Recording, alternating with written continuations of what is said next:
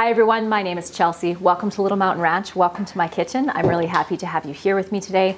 We are going to be doing some canning together. We are going to can a whole bunch of squash. I have some left to chop here, but as you can see back there, we have two big bowls of chopped squash. So we are going to can them. And if I have any extra, I will probably bake it in the oven and make a puree. We'll talk more about that in a little bit.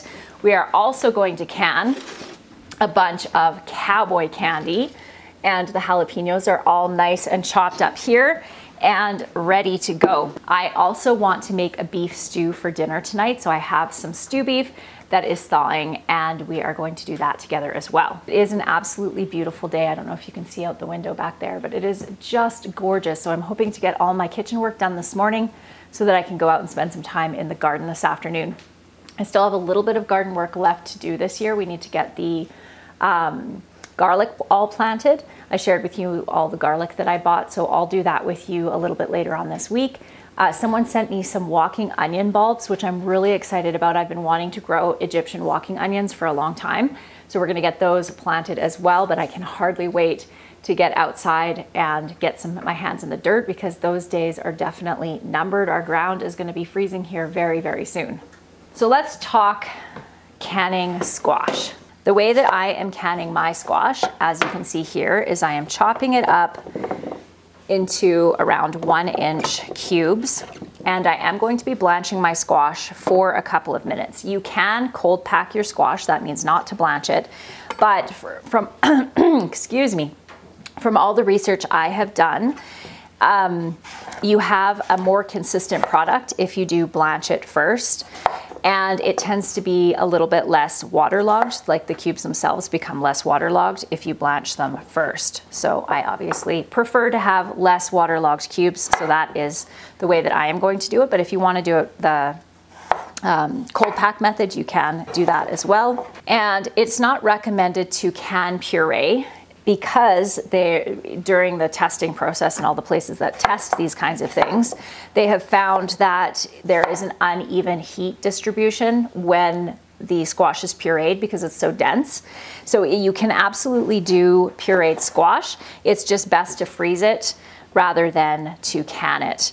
I have also thought about maybe doing some in the freeze dryer um, and giving that a try as well. So we'll see how many jars we end up today. I was kind of hoping for 14 quarts and then to use the rest to make puree. And I am going to freeze dry some of it. I haven't tried freeze drying pureed squash.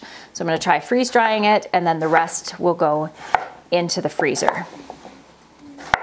So we're just about to the point where we have everything all chopped here. So this is called Maddie's Squash Scooper.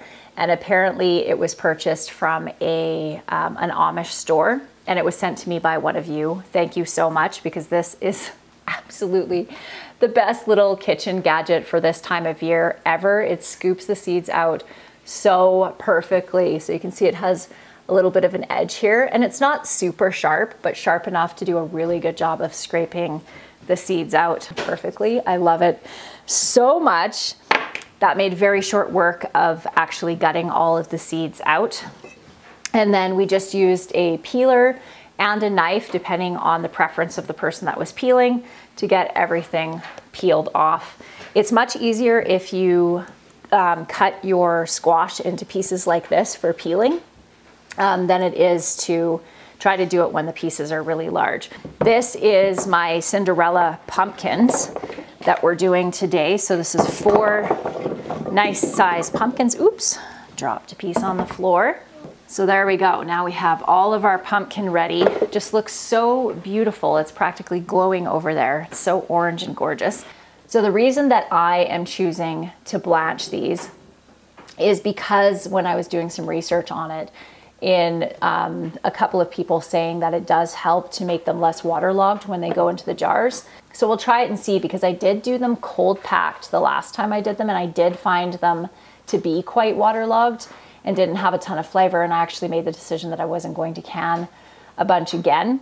But because this method of blanching is supposed to help with that problem, I thought I would give it another go. So all I'm gonna do with these once they, um, when it comes to actually using them, so the way that I'll be using this canned squash is when I take it out of the jar, I'll puree it at that point and I'll use it in pumpkin French toast, which is one of my kids' favorite, whoops, favorite uh, pumpkin recipes, pumpkin muffins, pumpkin cake, all that kind of stuff. You could also make a really quick squash soup with this, adding a little coconut milk, some curry, some canned potatoes. We do, excuse me, love squash soup. Once we have these filled, we're gonna top them off with boiling water. And I think I'm actually going to use this water because this water has flavor in it from the squash itself. So unlike with potatoes, you usually don't want to reuse or use the water that you boiled your potatoes in if you're blanching your potatoes for canning because one of the things that you want to remove is the extra starch, but these aren't a super starchy vegetable, so I'm going to use this liquid. So beautiful. I hope they don't lose too much color when I can them because these are just gorgeous. Sunshine in a jar. Hello.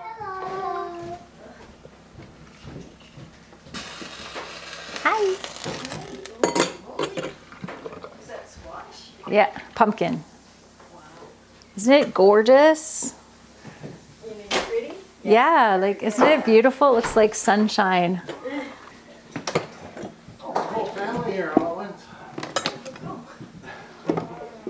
Okay, so that was my mother-in-law, by the way. She is here for the morning and a little bit of the afternoon. Um, so you do want to debubble your jars, especially if you are canning something that is has some chunks in it like this, because a lot of air can get trapped down in there.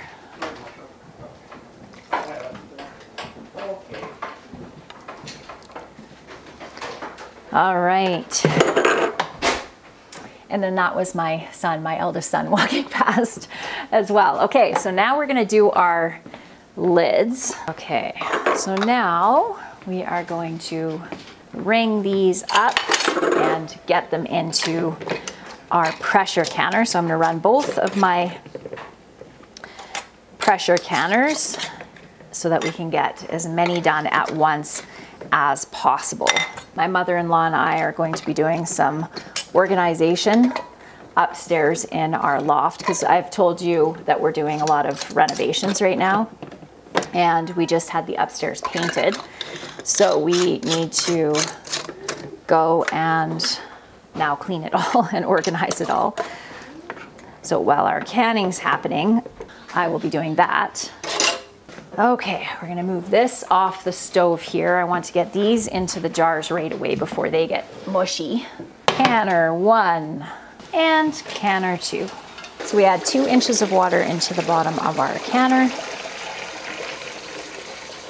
and into our second canner. Okay, let's jar up the rest of these. I love the colors of autumn. Isn't that a beautiful autumn color? So lovely. These Cinderella pumpkins are a nice pumpkin because they are sweet and the flesh is fairly dense.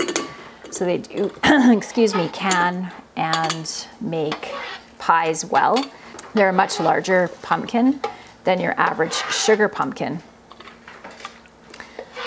and uh, but the plants themselves take up pretty much the same amount of space as a sugar pumpkin does. So I have taken to growing these for pies and um, purees. You know what I might also make is a little bit of pumpkin butter. That sounds absolutely delicious. So what I might do is get a roaster oven out and throw a bunch of these into a roaster oven and cook them down and make pumpkin butter. Okay, we are going to get these into the canner. The National Center for Home Preserving is the best site that I have found for canning times. Because if you go online and you look up canning times for squash, you are going to find lots of different um, recommendations. So, so they say that for quarts, processing time is 90 minutes for quarts, and at 2,000 feet or below, it is 11 pounds of pressure. And then it goes up for us, it's 12 pounds of pressure, and so on. So on my pressure canner, I have a weighted gauge pressure canner that has 5, 10, and 15. So I always just bump it up to 15. So we'll let these run through the canner. So I have decided that while this canning's happening, I'm gonna fill this up with a bunch of pumpkin and so that we can have this to make a pumpkin butter with. I'm really excited about this because I think this is gonna be delicious. So good, and plus we have all of this nice chopped pumpkin over here. We're gonna put a ton of them into here. I can think of a ton of uses for this.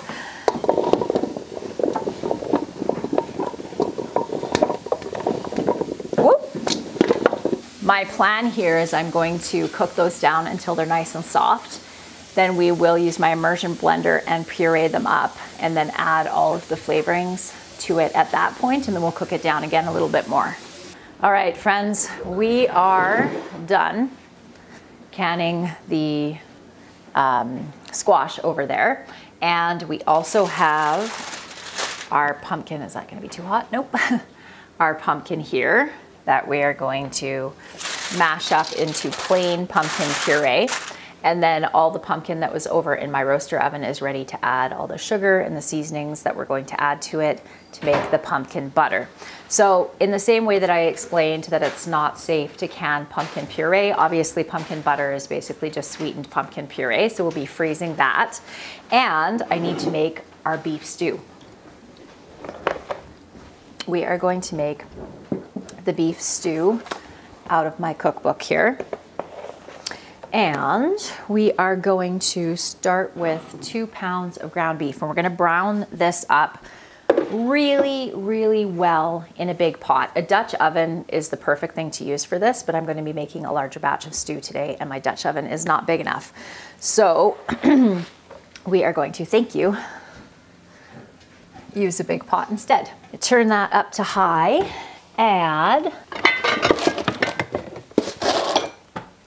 some avocado oil to that. Lard works really well, but I currently do not have, actually, just wait a minute. I think I did make lard actually just a couple months ago. So needless to say, we are going to add some oil to that. And once our oil gets nice and hot, we will throw our beef in and we want that beef to get really, really brown and little dark brown bits on the bottom of our pot because that helps to make the um, gravy a nice brown, nice rich. You don't want it to burn, however, you want it to be just below the point where it's burned.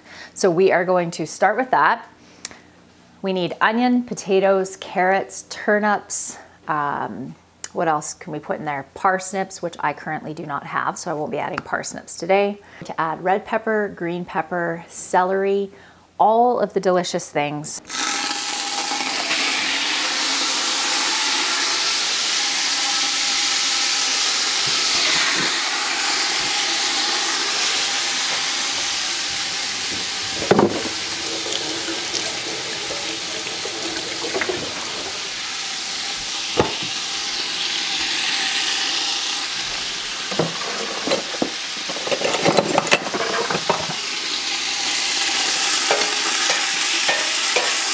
Best to keep your beef in a thin layer. Don't layer it up, otherwise it will steam before it has a chance to get nice and brown. So we have that browning up over there.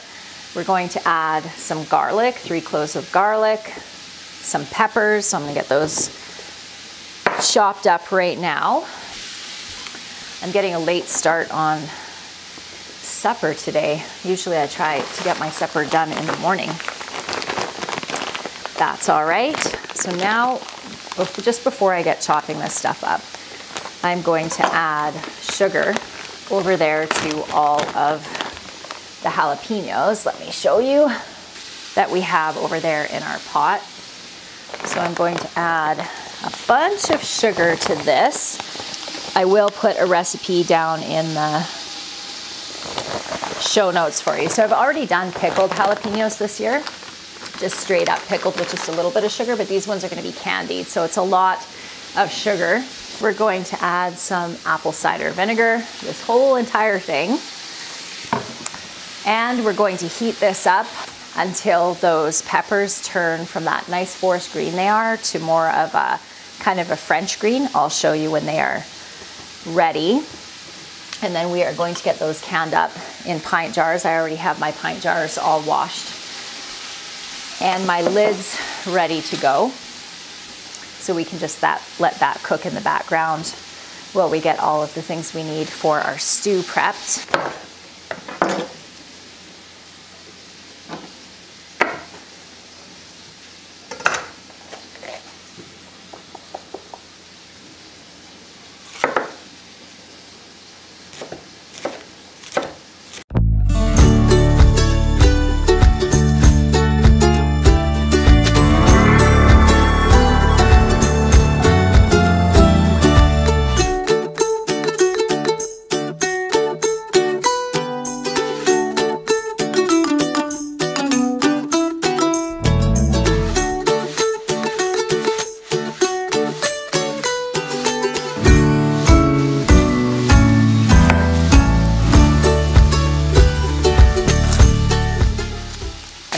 If you can see that, but you can see how dark brown all that is. So now we're gonna throw in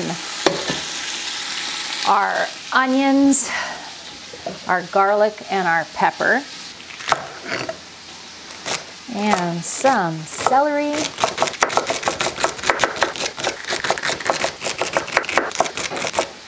So for our potatoes and our carrots, I've just given them a good scrub rather than peeling them although you could absolutely peel them if you like.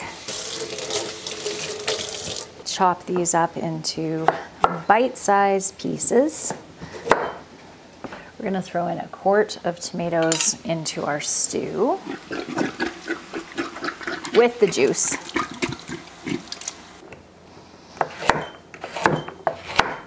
This is a pretty rustic stew, so you can give your veggies just a rough chop don't have to be fancy. Since I don't have turnips or parsnips today, I am going to add some extra carrots and extra potatoes. Beef stew is extremely flexible as far as what you can put in it and still have it taste good. So roughly chopping our potatoes. Just try to keep the size of your potato pieces and the size of your carrots the same so that they finish cooking at approximately the same time.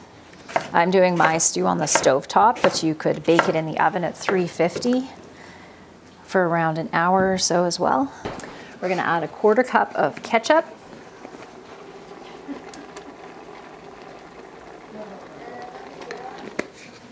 Some Worcestershire sauce, HP sauce, which I don't currently have. Two tablespoons of Worcestershire sauce. And we are going to add a quart of water to this. So if you follow the uh, instructions in the cookbook exactly, then you shouldn't need to add water. In my case, or not much water, around a quarter cup or so.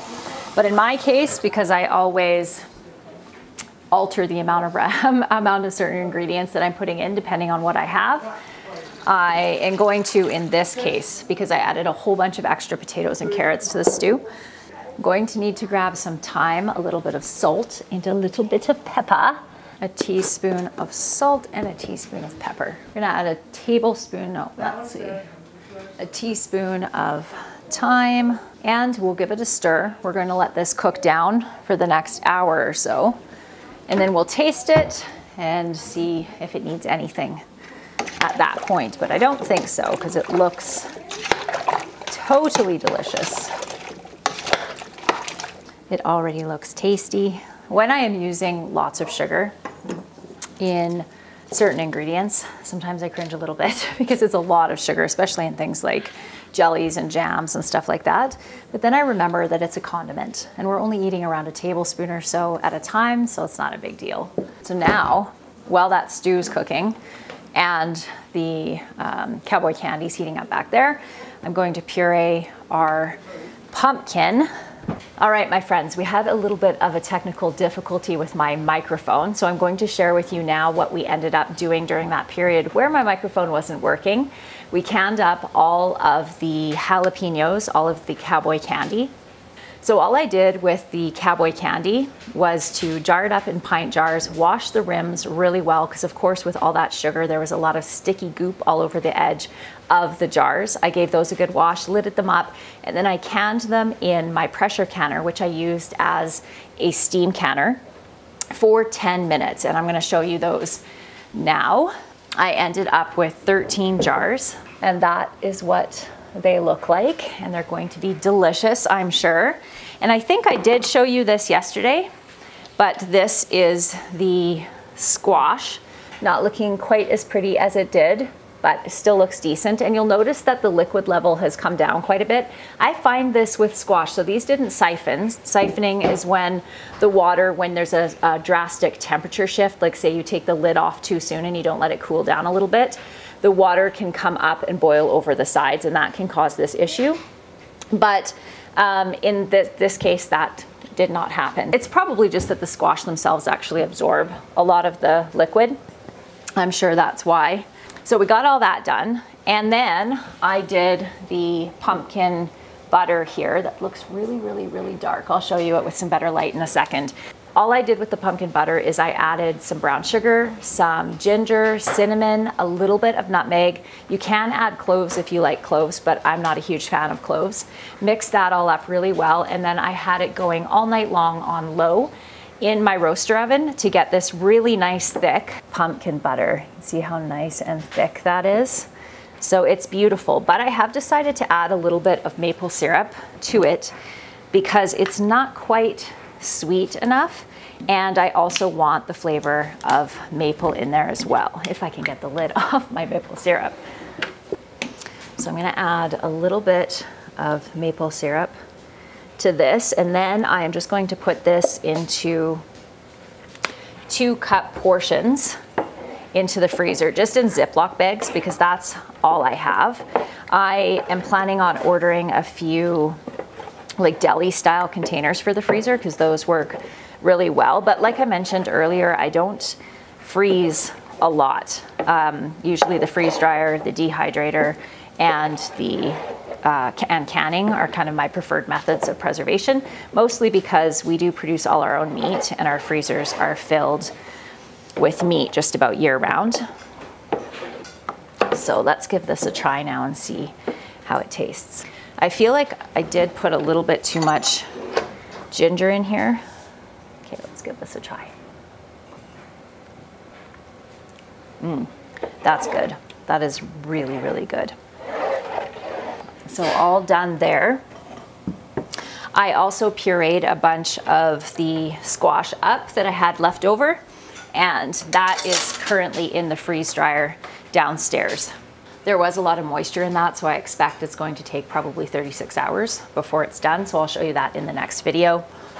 And you know, I had a memory that last winter I cooked up some squash and freeze dried it.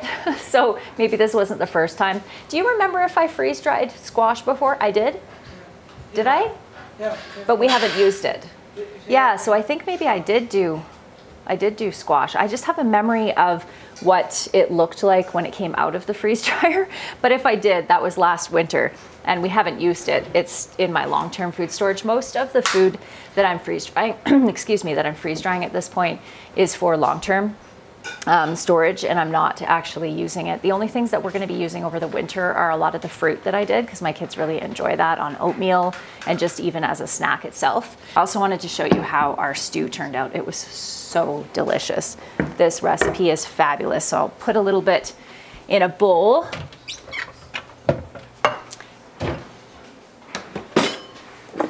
Even though it is breakfast time at my house, I'm sure somebody wouldn't mind having a bowl of this amazing stew. So good. Look at how thick that is. Mmm. Pardon me? You're in? You're gonna have some, some stew? Okay, so Dan's gonna have some stew for breakfast. It is really good stew. If you've never made stew before, I would highly recommend giving this one a try. Like I said, I'll send it out in next week's newsletter. So if you want to sign up for my newsletter and get a copy of that, I'll put a link for that down in the show notes for you. You gonna try it? No, I'm just gonna try a bite for these guys. You go right ahead, and then you have to tell me what you think. All lots of good stuff in Lots it. of meat in it. Yep. Mm. a little bit more. mm. That's really good. Oh my word. Okay. So I'll show you what I am having for breakfast this morning, which might seem like an odd breakfast, but since I started eating like this for breakfast, I am feeling way healthier. So I know this is gonna seem really odd, but there's carrots, Brussels sprouts, broccoli, cauliflower, and cabbage, just all fried up. I put a little bit of butter and salt and pepper, and that's what I eat for breakfast, and it keeps me full much longer than if I eat like toast and yogurt or something like that for breakfast. And it's doing good things for my intestines. And I am going to keep eating like this for a while, I think. You're really enjoying it too, hey? Because Dan's been eating like this too. It was actually he who started this idea. Oh, was it your mom? Because she's eating like this in the morning? Ah. Ah, okay. So there's some science behind this apparently. Dan's mom was telling him about it, but because this is a lot of fiber, it helps to um, impact the way that your intestines work and causes your body to regulate its blood sugar better. So I know nothing about this at all. I'm just eating this way because it feels good to my body. All right, friends, I think that is it for today's video. I hope that you enjoyed it and I look forward to seeing you next time, which will probably be on Saturday. See you then. Bye.